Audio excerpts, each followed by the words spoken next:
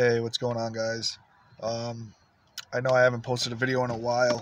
Last time I posted a video, it was about getting the Ranger uh, ready for snow. Um, we had a pretty good winter. It did all right, but um, me and my stepson, we're gonna end up building it, and uh, it's gonna be his first truck. So I didn't really want to just um, have him lean into it with a uh, with a V8. Uh, they sell the kits pretty pretty cheap to um, do a swap. But um, yeah, so we're gonna end up building the 3.0 that's in it.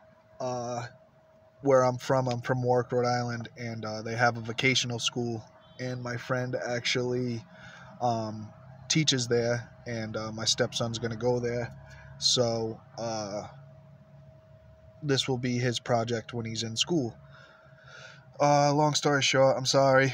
Uh, this is my first time doing this, and uh, just trying to get used to it. I'm a little camera shy, but um, so we're gonna build the uh, 3.0, and uh, yeah, I think uh, if you guys want to stay stay tuned and watch the build, um, I'll appreciate it. You know, just follow us, and uh, I'm trying to grow the channel for him, and uh, just just something so he can uh, keep track of the build and everything else.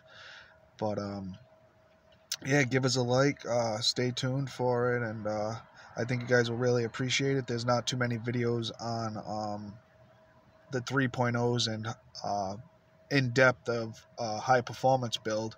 I mean, it's definitely going to be a lot more than uh, stock. So, um, but yeah, give a like, and uh, I hope you guys enjoy it, and uh, stay tuned.